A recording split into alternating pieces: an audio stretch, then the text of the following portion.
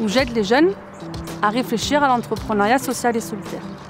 De trouver le moyen d'accrocher mes élèves euh, à un enseignement différent. J'ai décidé de, de, transformer mon travail à mon image. J'ai commencé à tester d'autres programmes, euh, comme euh, créer une association. Et ensuite, j'ai trouvé un programme qui permet de créer des entreprises sociales et solidaires. Du coup, il y a des jeunes, donc j'ai de, la classe de seconde au BTS, qui réfléchissent à des idées pour entreprendre dans, dans le domaine du développement durable ou du social et du solidaire. Je permets de faire émerger le créateur qui est dans chaque élève. Il y a les élèves qui euh, étant en attente de ça, qui réagissent très bien parce qu'ils ne sont pas tous pareils, heureusement. Après, on a les élèves qui aiment le cadre et qui se sentent perdus. Et souvent, c'est les bons élèves. Donc, quand vous avez un bon élève qui vous dit Madame, ce que vous faites, ça ne m'intéresse pas, ben, c'est dur. Et après, on a les, suiveurs ou euh, ceux qui veulent se démarquer un peu. Voilà, il faut réussir à cadrer euh, tout ça.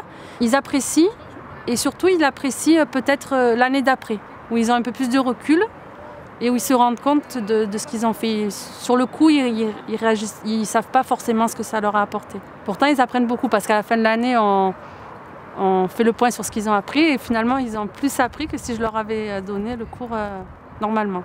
Certains adhèrent au-delà de ce que j'espérais, c'est-à-dire que j'ai des jeunes qui, en dehors des cours, euh, décident d'aller voir les partenaires, ils restent à la récréation. Ils ont du mal parfois à trouver des idées, mais par contre, quand ils en trouvent une, elle est vraiment bien. Elle est géniale. Et là, j'ai un jeune qui euh, a voulu postuler pour être euh, ambassadeur euh, à Washington, dans le programme Jeune ambassadeur à Washington. Et on lui a dit Qu'est-ce que tu as fait de particulier dans le domaine de la solidarité? Et là, il a dit Ah, je crois que j'ai fait quelque chose. Donc voilà, ça, c'est des choses vraiment dont on est assez fier. Au départ, j'étais seule. Et puis petit à petit, j'ai d'autres collègues qui se sont intéressés à ce que j'ai fait. Et aujourd'hui, on est un collectif de professeurs et on espère euh, créer un accélérateur citoyen, c'est-à-dire qu'on va aider tous les jeunes euh, du lycée qui le souhaitent à réfléchir à ce qu'ils pourraient entreprendre. Avec comme fil rouge l'aspect citoyen, c'est-à-dire social, solidaire, développement durable, puisque c'est la, la base de ce qui les motive ici. Ce qui est étonnant, c'est euh, je me rends compte que d'un projet qui était pour une classe, au, même au départ pour quelques élèves, ça va devenir un projet très très important. C'est-à-dire c'est il est en train de se nourrir de lui-même. Et, et, je me rends compte qu'un petit projet va entraîner d'autres projets et qu'on va devenir parce qu'en plus on se met en réseau avec d'autres établissements qui vont faire la même chose.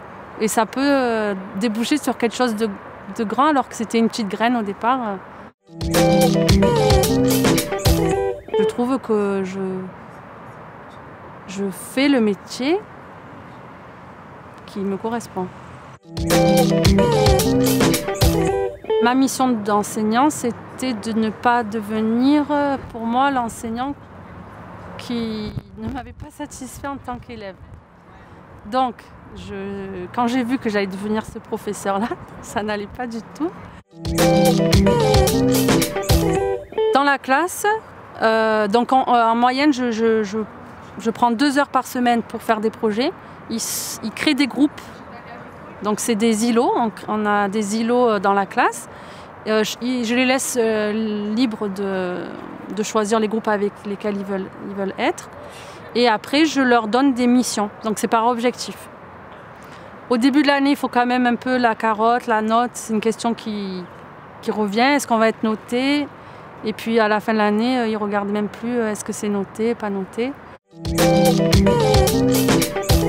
Un projet qui au départ pour moi euh, était un projet un peu basique, c'était de créer une marque de t-shirt parce que j'ai l'impression que c'était nouveau.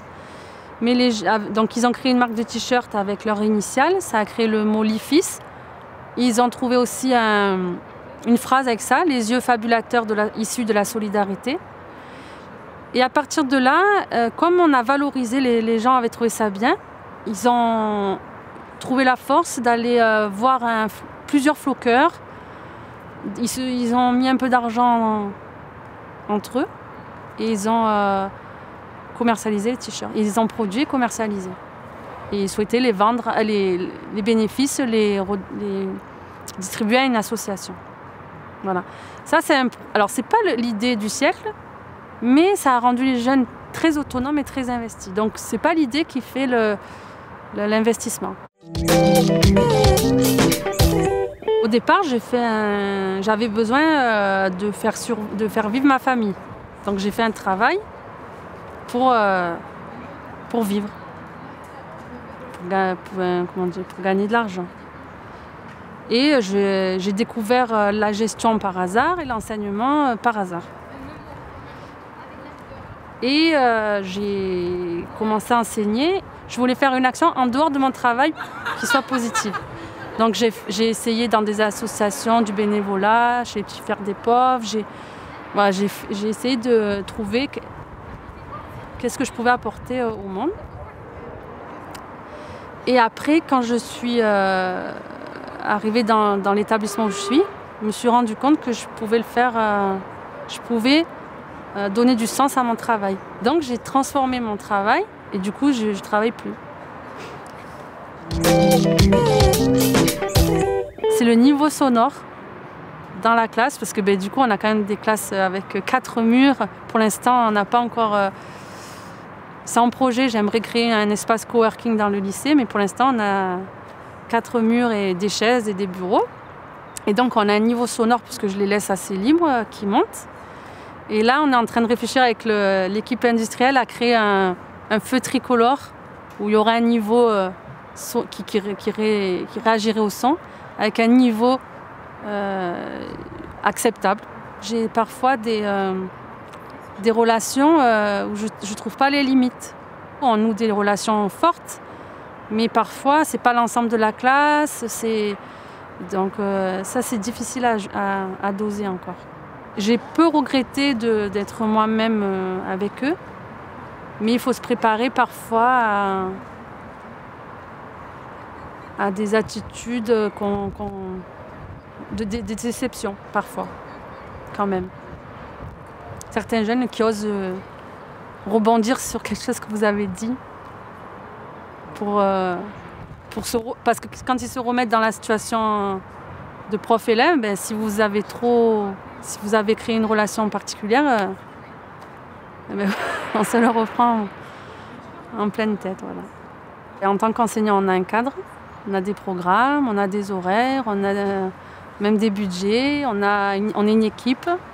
Donc voilà, quand on propose quelque chose qui sort du cadre, euh, on n'est pas forcément soutenu. Enfin, on ne nous met pas des bâtons dans les roues, mais on ne nous porte pas.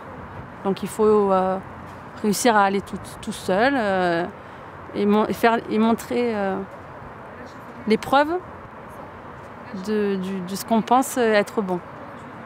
Donc au bout de 4 ans, je commence à avoir les, preuves. mais malgré tout, on nous demande de chiffrer. J'ai l'impression que dans l'enseignement, on nous laisse quand même une liberté qu'il faut réussir à saisir sans attendre euh, l'autorisation. On nous laisse une marge de manœuvre, il faut rester quand même dans le cadre. Et après, euh, comme on est euh, donc en, avance par rapport à ce qui se fait, les cadres ils, disparaissent. Puisqu'il n'y a pas de cadre là où c'est pas prévu. Et, du coup, après, on peut vraiment faire ce qu'on veut faire. L'éducation nationale nous demande d'avoir les objectifs et la vue concrète de ce qu'on va faire. Bah, c'est pas possible. Donc d'abord on commence avec l'intuition, ce qu'on pense euh, qu'il faut faire dans le petit euh, domaine de liberté qu'on a. Et ça prend un peu de temps, on teste, et puis petit à petit on trouve la solution. Et après les, cadres disparaissent.